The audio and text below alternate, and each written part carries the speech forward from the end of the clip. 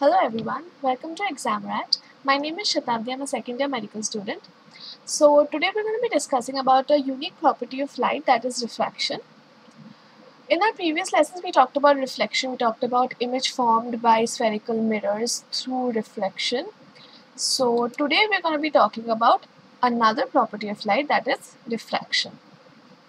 Okay, so let's just go over the definition of refraction. It's very simple. It's basically the bending of light when light passes from one medium to another. So bending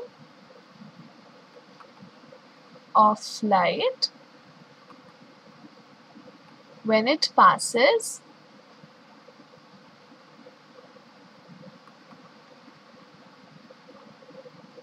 from one medium to another.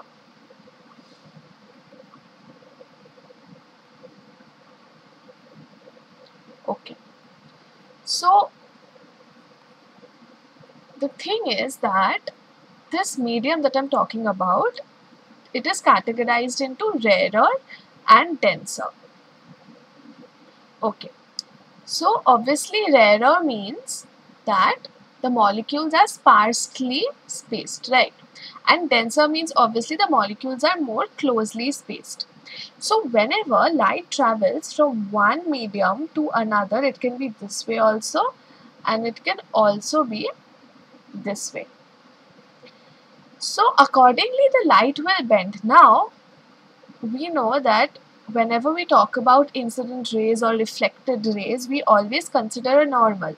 Like the calculation of the angle of incidence or the angle of reflection, uh, reflection both are compared on the basis of a normal, right? So in refraction 2, we are going to be learning about angle of uh, incidence, angle, angle of refraction also with respect to normal.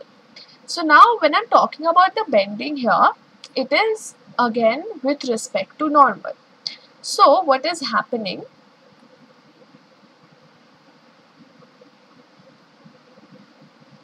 Basically, if I say that there is water here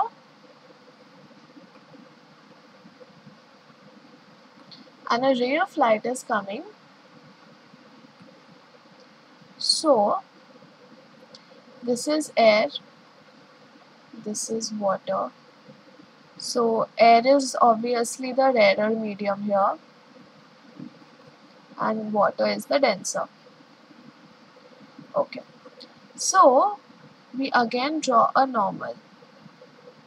Now remember that even if it is not showing in the diagram here because I'm drawing with the help of a pen tab but when you draw always the incident point and the point at which the normal is drawn should be same okay? So yeah. So now what exactly is happening is that I'll just try to join them. So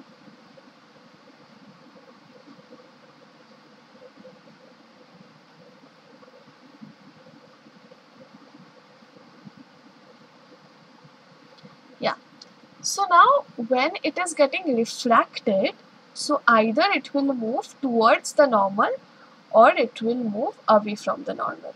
Now what is, how do we determine whether the ray is going to move away or going to move towards the normal? So basically when light travels from one medium to another, rather when light travels from a rarer medium to a denser medium, its, its speed decreases. So when light travels from rarer to denser, its speed will decrease. Okay, and if and if something's speed is decreasing, then obviously it, it is becoming slower, right? So you can understand that if light was moving following this path, so after going into the water, it will like reduce its speed, right? So it will move or bend towards the normal like something like this okay so why because its speed is reducing right it's not again moving with the same intensity. So now it is slackening a little and moving towards the normal. That is how I remembered. Okay. If light travels from denser medium to rarer medium, obviously you can understand what is going to happen. Its speed is going to increase, right? So if its speed increases, so you can understand what is going to happen. It is that it is destroy. Now it will move away from normal. Okay. So, okay, sorry, yeah, you always have to like divide the, you have to show the medium, obviously, otherwise how will people understand? So, denser, rarer, uh, yeah. So, just moving away from the normal. So in this case, air is obviously there and water is obviously denser. So what is going to be the refracted ray? The refracted ray is going to move or bend towards the normal.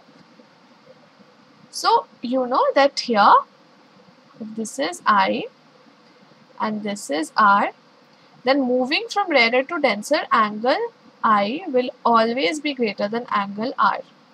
And from move, moving from denser to rarer, angle R will always be greater than angle I. Here you have to remember that R is angle of refraction and angle I is remains the same which is angle of incidence. Okay. So now we again come across laws. Laws are very important. They govern how we perceive things. So again, which I told you before while studying the law of reflection, that the incident ray, the refracted ray and the normal to the interface of the two transparent media at the point of incidence all lie in the same plane.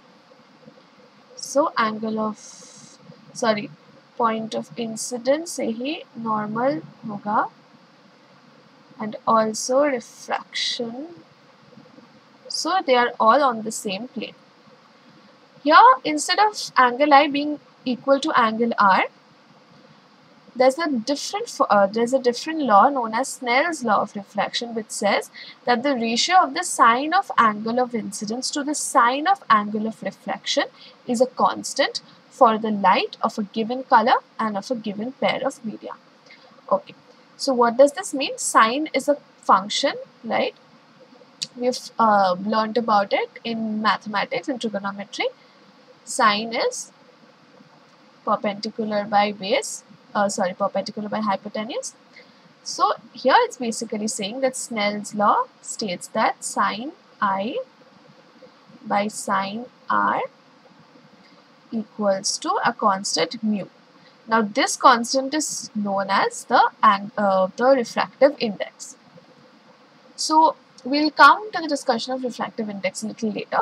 So for now we just have to remember that for a give for a light of a given color and a given pair of media like only when we have stated that medium 1 is air and medium 2 is water only for that specific pair of medium and of bright of a given color like you know that Vibgyor so light can be of varying wavelengths and varying frequencies so for a given light of a given color and a given pair of media sine i by sine r is equal to a constant mu.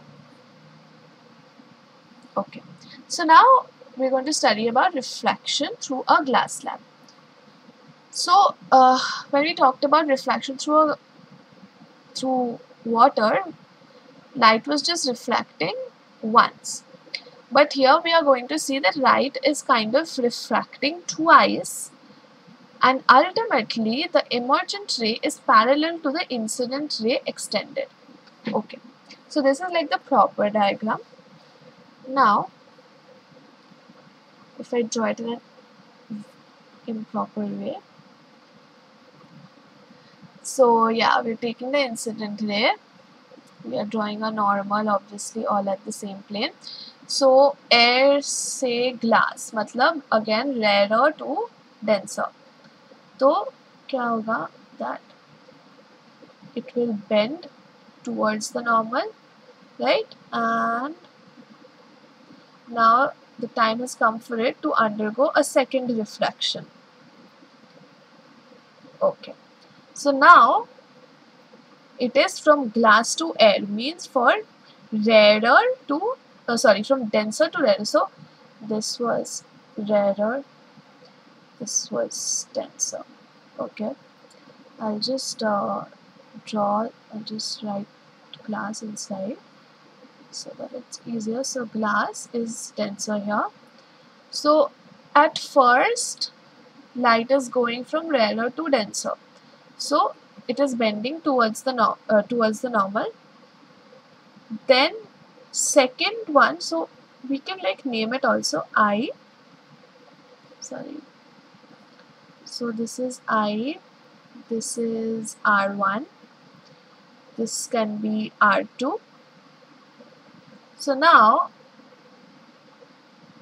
in the second case light is moving from denser to rarer right from glass to air. So now what will happen? It will obviously move away from the normal right? Since they are ray diagrams don't forget to ever put arrows. They are very important. So this angle is basically called angle of emergence. So now what's happening is that we are extending the incident ray. So what we find is that incident ray extended and emergent ray are parallel to each other this distance between them, this parallel distance between them is known as lateral displacement.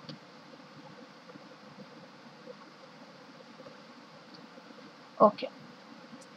So, uh, you all will be asked to draw this simple diagram like reflection show me through reflection through a glass slab. What is important here is that you have to always name the angles. You have to always put the arrows and you have to make sure that the emergent ray is always parallel to the incident ray extended. That is all. Okay. So here you're noticing something known as mu. Here it's mu g means refractive index of glass and here it's air so it's refractive index of air. Okay, so what is refractive index? The extent of the change in direction that takes place in a given pair of media may be expressed in terms of the refractive index. Okay. So it means that when we discussed about Snell's law, we said that sin i by sin r equals to mu, right? And this mu was the refractive index of the second medium with respect to the first medium. So now what is exactly this refractive index? It is the extent of change in direction. Matlab, how much the light has bent after refraction. It, it'll always be dependent on what was the medium before and what was the medium after, right? So it is always going to depend on that. So the refractive index always will be with respect to mediums. Okay. Secondly, you know that the bending depends on the speed, right? Like the speed of light traveling through air and the speed of light traveling through the second medium. Or it does not necessarily have to be air, it, it can be from glass to water as well. So one thing you have to remember is that light travels fastest through air then it is fluids and then finally it is solid. Okay so the the uh, magnitude is somewhere around in air it is 3 into 10 to the power 8 in fluids it is 2.5 into 10 to the power 8 and in solids it is 2 into 10 to the power 8 okay. So light travels fastest in air and the slowest in solids. Okay so now another way to calculate the refractive index is basically when we compare the speed of each other like the speed of light in medium 1 and the speed of light in medium 2. So now the refractive index can be linked to an important physical quantity as I told you the relative speed of propagation of light in different media. It turns out that light propagates with different speeds in different media as I told you before. So what is it saying is that we can also define instead of this formula there is another formula by which we can um, find out the refractive index and that is basically you write mu or refractive index of the second medium with respect to the first medium. When you write this, you can say that it is basically equal to the speed of light through the first medium by the speed of light through in the second medium. Okay. So this basically gives us the refractive index. Remember, I'm always saying the second refractive index of the second medium with respect to the first medium. So if light travels from air to glass, you will basically, by using this formula, you will be getting the refractive index of glass with respect to air. Okay. Similarly, if you reciprocate it, like if you do it as S2 by S1, you will get the refractive index of the first medium with respect to the refractive index of the second medium. As simple as that. You just have to put the speeds. Now we come to absolute refractive index. So the term absolute means is, that we are specifying one of the denominator or numerator of the ratio. So what are we doing here is that we are basically saying that medium 1 is vacuum or air. Then the refractive index of the medium 2 is considered with, considered with respect to vacuum. This is the absolute refractive index of the medium. So if we say the speed of light in air is c, then what refractive index of the second medium with respect to the first will be? Let c be speed of light and v be speed in medium 2 since light is since air is the medium 1 so what is going to happen is here we'll do as c by v. So c is constant here right? So basically what is the importance of absolute refractive index is that we can always find like for example it is given that refractive index of um, say the second uh, refractive index of let this be water. Okay let medium 2 be water. So if it is given that refractive index of water with respect to air is this refractive index of um, glass with respect to air is something then what is the refractive index of glass with respect to water? So I'll just give an example here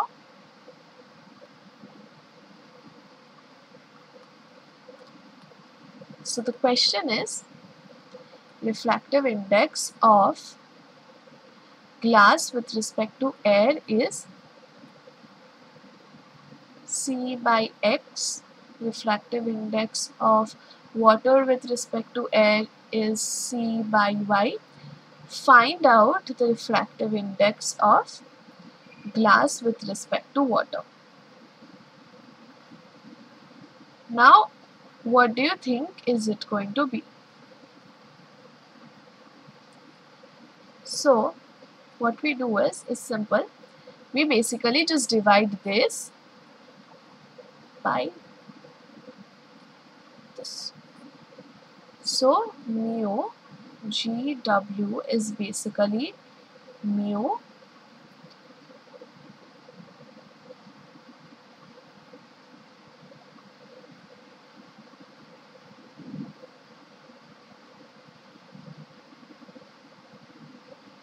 mu g a by mu w a. So it will give us c by x into y by c which is y by x. Simple. Okay. See you uh, in this case you know the speed of x and y and that is why we could have directly put it but I'm saying that in some questions they will just give you this this value. Like they'll just tell you that refractive index of glass with respect to water is say 1.33 refractive index of water with respect to air is sorry this will be 2.3 rather and this will be 1.3 so what is refractive index of glass with respect to water. So basically what you have to remember is this formula. You can just pause the video and take it down. Okay. So our more or less discussion with refractive index is done here. Now we move on to another unique feature. Excuse me. And that is spherical lenses. Okay so a lens either convex or concave lens has two spherical surfaces. So i'm sure you're familiar with lens because we talk about it in our day-to-day -day lives. Like this um, specs that i'm wearing they also have lens. They're also made of lens. Now which lens is it? We are going to discuss it in the next class. So yeah before that let's draw. So the most basic lens is concave or concave or biconcave lens or biconvex lens. Like when I'm saying biconcave or biconvex I mean that we are putting two spherical surfaces. Like here we have put two convex surfaces together and two con two convex mirrors together rather. And here we've put two concave mirrors together to get concave biconcave lens and biconvex lens. Okay. There are other type of lenses also. There is plano concave which is one side will be plane mirror one side will be sorry this is plano convex and this is plano concave we have concavo convex which is one side concave and the other side convex. We have convexo concave which is one side concave convex like the reflecting side and this so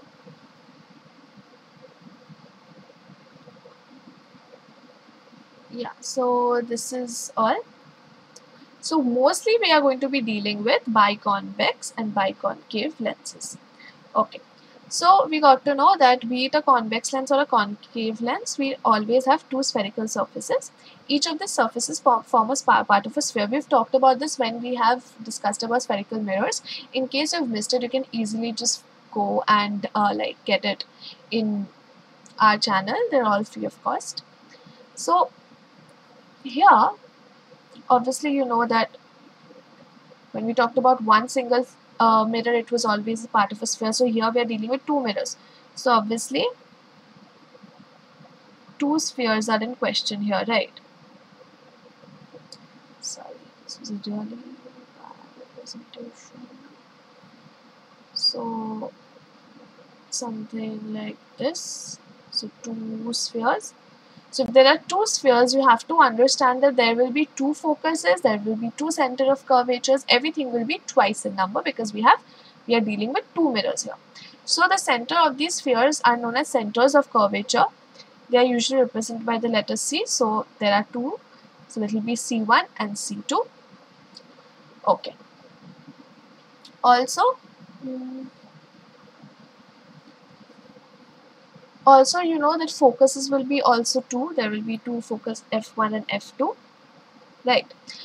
So another thing that um, is to be discussed is that we knew that um, radius is twice of focal length right? So we can also demarcate the point center of curvature by writing as 2f like if we denote f point f as the focal point then we can write center of curvature as 2f like it is a convention. Why am I telling you this is that when we deal with the ray diagrams it will be easier for you. Like many in many cases um, the teachers would prefer if you write 2f in, instead of uh, c. So c1 and c2 is given. Now what we have to understand is that which is the c1 and which is the c2 okay. So we deal about we talk about image formation by convex lenses okay? So as you can see that in this picture I had said that we are dealing with two spheres right? So this is the like I'll just draw it here. Yeah. So if this is a concave lens then obviously you can understand since this one is the is, will be towards your object. So this is the first like this is the part of the first sphere right? So what we can say is that this will be f1 and this will be 2f1 in the same way here will lie f2 and here will it lie 2f2 so you have to understand that which is the first and which is the second focal. And that's it's it's not like it's going to help you in calculation or something. It's just easier to memorize that since this is the convex this is the first surface you're dealing with and since the sphere is drawn like this so obviously this will be the first this will be f1 this will be 2f1 similarly since this is the second reflecting surface f2 and 2f2 okay. So now we are going to be dealing with image formation by convex lens. So first is at 2f so we knew by our knowledge of mirrors that whenever we second. Whenever we deal with a object placed at center of curvature then its image also comes exactly at that point with exactly at that size so the difference between a mirror and a lens here is nothing but in mirrors there was reflection and lenses there will be refraction but since we are reducing the distance between the two mirrors in such a way that the refraction is very negligible. So what I'm trying to say basically here is that if, if this is a parallel ray parallel to the principal axis and this was the imaginary normal let's say and this is the reflection refracted ray and then again the emergent ray. Now the thing is here you can understand the bend right because when you extend the incident ray you'll understand this. But if we reduce like this there's the significant difference but if we reduce the thickness of the lens in such a way then this refraction will be very very negligible. It will almost be like the ray has reflected completely. It will be almost straight. So that is how we are going to be. Like if you see these pictures you'll understand that the reflection the refracted amount is very very less. Okay so here we come across instead of pole basically what we say here is that when we draw a convex lens and we draw the principal axis, we draw an optical center here. And the rays are passed with respect to the axis of the convex mirror, uh, convex lens, sorry. Okay, so our first case was how an object was kept at 2f and so now we know what's gonna happen. See the main properties will remain same and that is that after after the parallel ray gets reflected in this case refracted it will pass through the focus. And the ray which is passed through the focus what will happen to it? You know it will always okay so this case is not given here but again it will always be the same. Oh yeah it's here third case that anything that pass uh -huh, sorry it's given here sorry that anything that passes through the focus no I think they missed uh, the so anyway even if, it, if the case is not given here you know what's gonna happen like when rays from infinity come obviously they will always focus at a point right but instead of the first focus sorry instead of the second focus here is f2 the rays will converge at the first focus due to refraction of light. So that is the difference. Like the rays are coming and they are getting refracted as a result of which they are converging to, to a focus only but of the opposite side. So that is what you have to remember here that due to refraction it is happening on the opposite side but it is happening on the at the same places. So that is how you can correlate between image formed by spherical mirrors and image formed by uh, spherical lenses. Okay. So we get one ray here and so now we knew that a ray passed through the optical center. What's happening? Huh. So basically it's a little inaccurate but when you basically extend this rather and you have passed something to the optical center then you know that it will go undiminished. It will pass directly. So the image is basically formed at 2f but on the opposite side. So if in concave this is 1 1 2 so the object was at 2f2 and the image is formed at 2f1 it is of the same size. It is real and it is inverted. Okay. So what we've understood here is that any ray that passes through optical center of a convex or a concave lens it will go it will be reflected reflect sorry it will be refracted undiminished. There will be zero refraction. If you put a normal here angle I will equal to angle R equal to 0 so we get the image here. Okay. The second case, object placed between 2f and f. So,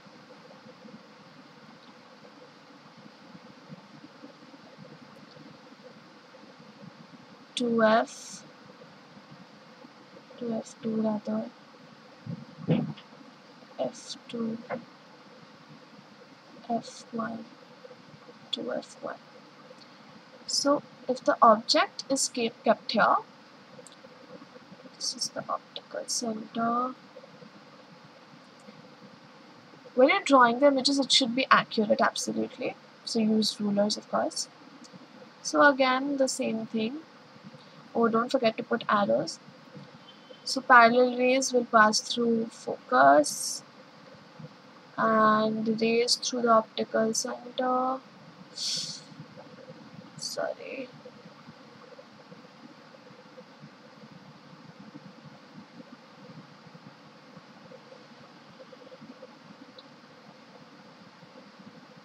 So basically what is happening is that it will be formed beyond 2f. So as and when we are talking about this, something is similar to the like the position of the image and the object. It is similar to those that we talked about in mirrors, right? Just the just here refraction is taking place.